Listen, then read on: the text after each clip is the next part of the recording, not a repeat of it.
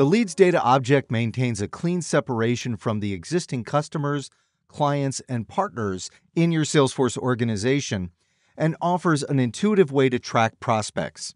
Leads within your Salesforce organization will allow you to maintain a list of prospects for the type of outreach your organization manages. Leads are an optional aspect of Salesforce. You can use contacts to track people, but leads is a step before contacts for folks that aren't already doing business with you. The idea is to keep the data for customers, clients, or partners separate from those who have not yet converted. Access to leads is enabled by default and can be hidden if you don't want it. The nice thing about keeping it separate is that once prospects have become part of an outreach, the leads who have not yet converted can be quickly removed from the system.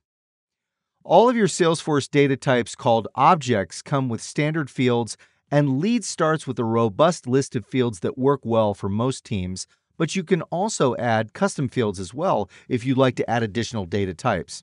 There are some powerful features within leads. Let's talk about them.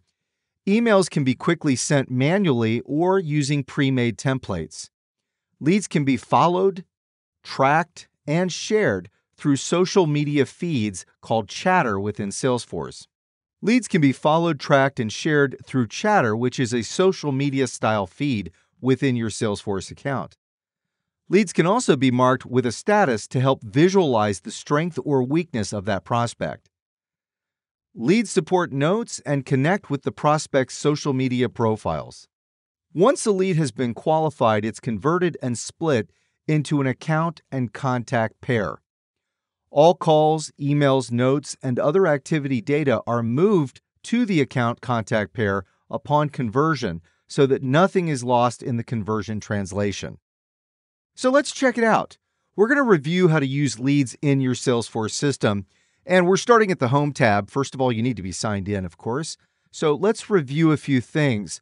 Let's talk about adding, editing, and deleting a lead. Very simple stuff. You may already know how to do it, but if you're new to Salesforce, let's check it out.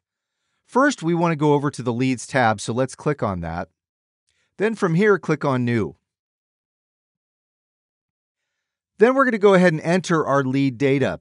Salesforce has a convenient status option to help with tracking the lead's journey through the Salesforce pipeline. Now, the red asterisks that are within the form indicate required fields, so you'll have to fill those out. They're not optional. So let's go ahead and do that.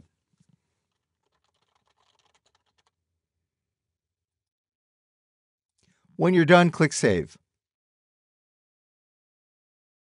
And here's your new lead. We can also do other things with our lead to track important information, details, and files. Let's go ahead and take a look at it. Under the Activity tab, we can log a call by entering notes from the call and then clicking Add. Let me give you an example.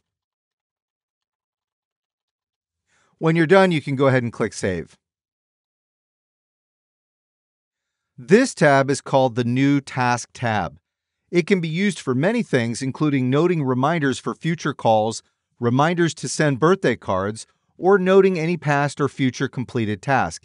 Anything at all you can use the Task tab for. Here's the new Event tab. Here you can record meetings on your calendar or other calendar specific activities. Events are cross referenced to your Salesforce calendar.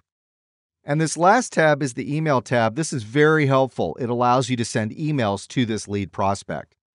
And editing leads is quite simple. All we have to do is click the edit button here on the top right, and you can make your changes. And once you're done making the changes, you can go ahead and click save.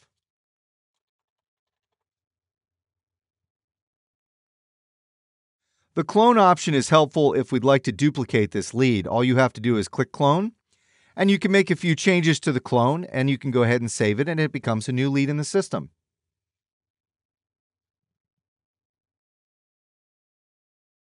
Now, if you no longer wish to pursue this prospect, you can click delete, and it's gone. We can list our leads using the different list views pull down right here you can see things like open leads, new leads, your recently viewed leads, and also today's leads. Let's go ahead and click Home. So we're here on the Home tab, and if we scroll down a little bit further down the page, we see on the left hand side, down at the bottom, recent records that have been added to the system. The Leads data object maintains a clean separation from existing customers, clients, and partners, and offers you a very intuitive way to track your prospects in a clean, separate manner within your Salesforce account.